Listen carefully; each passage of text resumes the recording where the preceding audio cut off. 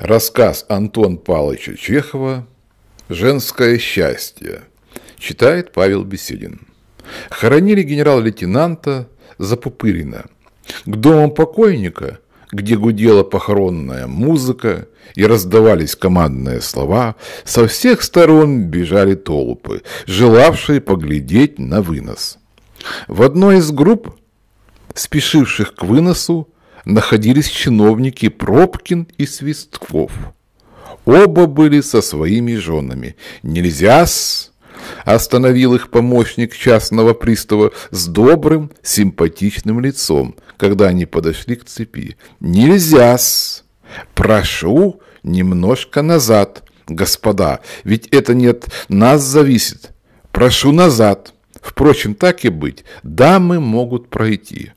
Пожалуйте мазмазель, но вы, господа, ради Бога.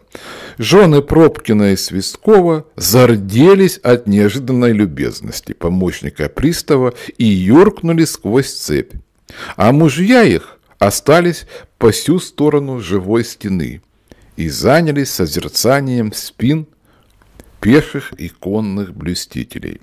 «Пролезли», — сказал Пробкин с завистью и почти ненавистью, глядя на удалявшихся дам. «Счастье! Ей-богу! Этим шиньонам! Мужскому полу никогда таких привилегий не будет, как ихнему, дамскому. Ну, что вот э, в них особенного? Женщины, можно сказать, самые обыкновенные, с предрассудками, а их пропустили. А нас с тобой? Будь мы хоть статские советники, ни за что не пропустят. Странно вы рассуждаете, господа, сказал помощник пристава, укоризненно глядя на Пробкина. Впусти вас, так вы сейчас толкаться и безобразничать начнете.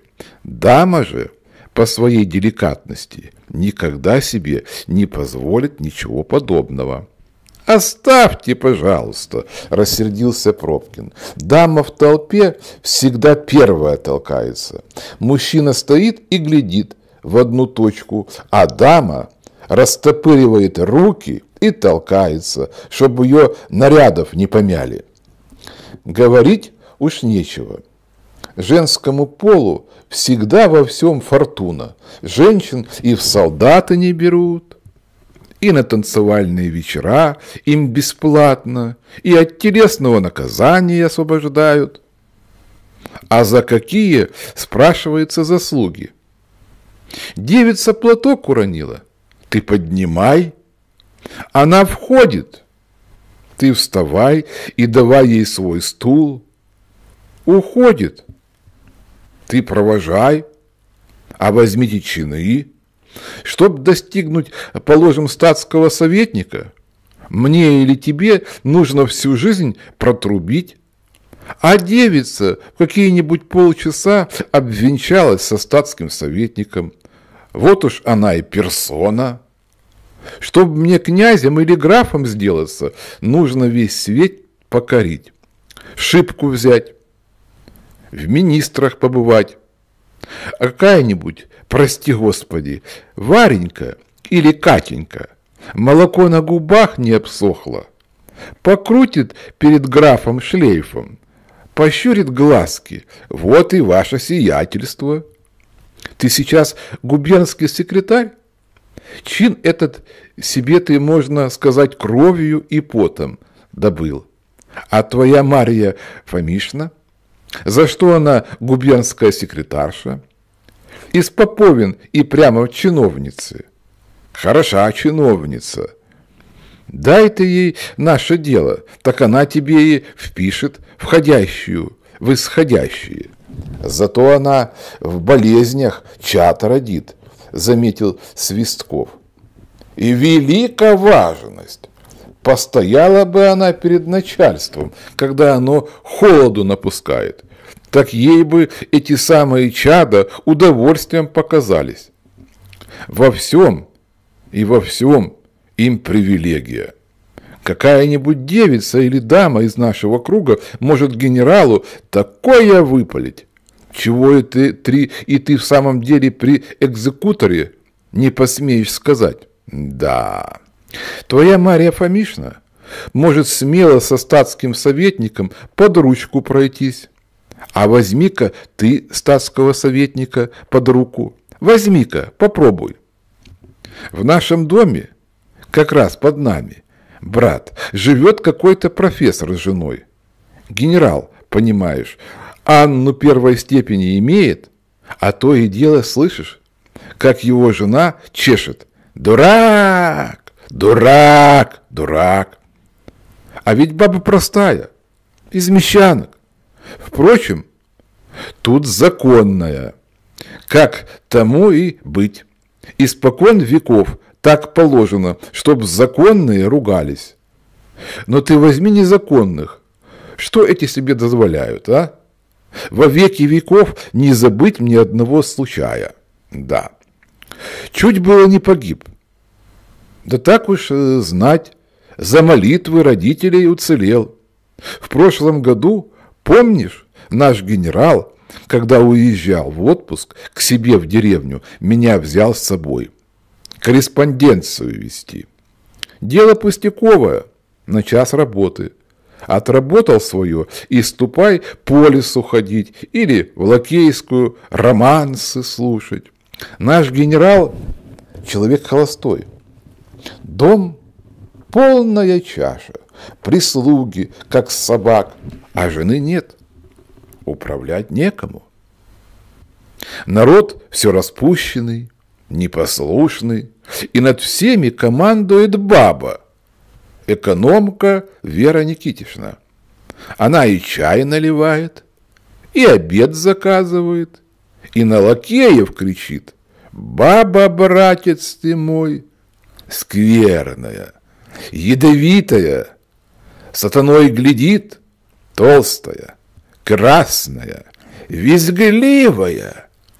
Как начнет на кого кричать, как поднимет виск, так хоть святых выноси. Не так руготня донимала, как этот самый виск. О, Господи! Никому от нее житья не было. Не только прислугу, но и меня, бестия, задирала. Ну, думаю, погоди, улучшу минутку и все про тебя генералу расскажу. Он погружен, думаю, в службу и не видит, как ты его обкрадываешь и народ жуешь. Постой же. Открою я ему глаза. И открыл. Брат, глаза. Да так открыл, что чуть было у самого глаза не закрылись навеки. Что даже теперь, как вспомню, страшно делается. Иду я однажды по коридору и вдруг слышу виск. Сначала думал, что свинью режут. Потом же прислушался и слышу, что это Вера Никитишна с кем-то бронится. Тварь! Дрянь ты этакая, черт! Кого это думаю? И вдруг, братец ты мой, вижу, Отворяется дверь, и из нее вылетает наш генерал, весь красный. Глаза выпученные, волосы, словно черт на них подул, а она ему вслед «Дрянь! Черт!» Врешь. Честное мое слово, меня знаешь, в жар бросило. Наш убежал к себе, а я стою в коридоре и как дурак. Ничего не понимаю. Простая, необразованная баба, кухарка, смерть. И вдруг позволяет себе такие слова и поступки.